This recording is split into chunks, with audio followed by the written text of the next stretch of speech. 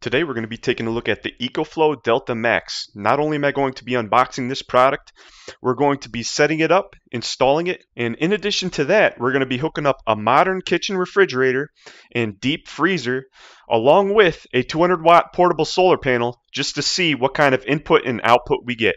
The unboxing process, there was absolutely no issues. Everything was very professionally packed. There was an extraordinary attention to detail. In fact, you could take a look at the foam right here. This is just very high quality and everything is tight and neatly packed.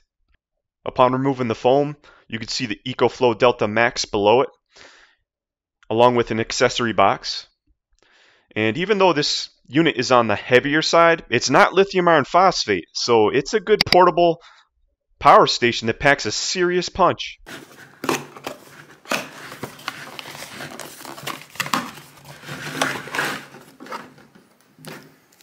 Looks like we have the MC4 cables.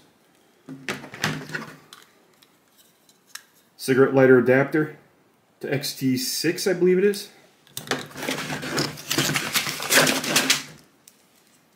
The AC adapter, or AC cable, charging cable. And it looks like an adapter here, along with the user manual. Oh, and I forgot to mention DIY instructions for the non-MC4 connector solar panels. Look at this. This thing is humming right now. It's at like 1600 watts of input.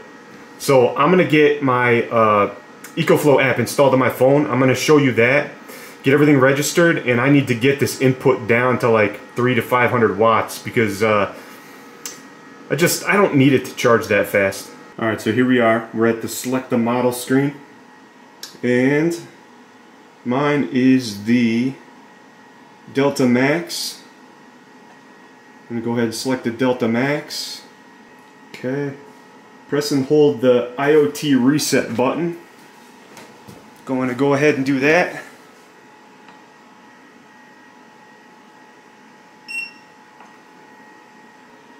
Next. Okay, so it says find this unit in your network settings and then it brings you to internet setup here. And then I'll just put in my information. Alright so I got this thing on the table so we can take a better look at it. And it just dawned on me that there's a switch on the back of this thing so that it doesn't charge as fast. Flip that. Yeah see look it looks like the wattage is going down now since I flipped that switch. So I think the lowest is like 200 watts. And just to take a quick look at the app here I got it set up and it was running at 1600 watts input and it's already at 21%. This is a gigantic battery. I mean it's not as big as the Pro model but this is 2000 watt hours. I'm going to show you all the hookups that I have, the electrical hookups. It's very simple and it's easy to do and I have the wiring all ran down to the basement so that uh, the both the freezer chest and the refrigerator go back to this unit. So when the power blips or if it goes out this just kicks on automatically and this is going to be a nice little solar setup. So there's a couple things I know I want to configure right off the bat. It's going to be I think the unit timeout but especially the AC timeout. Right now it's set for 12 hours. I want it to go on never because think about it this way. If you have your refrigerator and deep freezer plugged into this you do not want it shutting off. And uh, the unit timeout I want to say that's going to have to be never as well. And the last thing I want to do is update the firmware on this. It shows you that there's an update available. You just go ahead and just click the update, confirm, and it's going to go through that progression. And there we go. Firmware is up to date. So this is my basement window. You can kind of see right here, that's where I drilled the hole and I placed the grommet in there and if you look out the window, you'll see the all-power solar panel right there. So it's kind of a simplistic setup. So to the right, you can actually see the freezer chest. This is actually going full bore right now because I actually just got done cleaning the inside of it. And I have this uh, quad outlet here that goes to its own circuit on the circuit panel. And this is primarily for the EcoFlow Delta Max. So this yellow cable right here actually goes all the way up into the kitchen. I had an electrician install an outlet behind the refrigerator that terminates down here to the EcoFlow Delta Max and I have it plugged into the back. So now I have both the refrigerator and the freezer plugged into the Delta Max.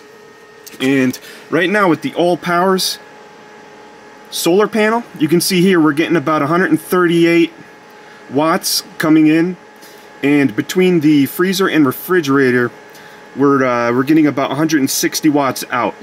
And under normal circumstances, the freezer and refrigerator, they're not going to be running all the time. So this is very cool to me because I plan on getting another Allpowers solar panel to run these in series so I can double the input.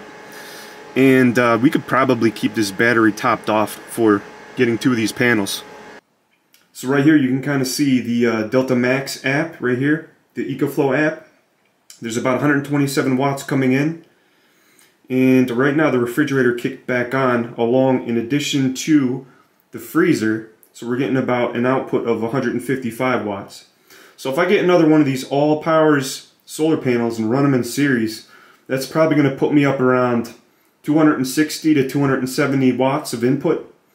And that's going to be about 100 watts over the consumption of both the fridge and freezer. So I could probably run this assuming climate is good for a very long time.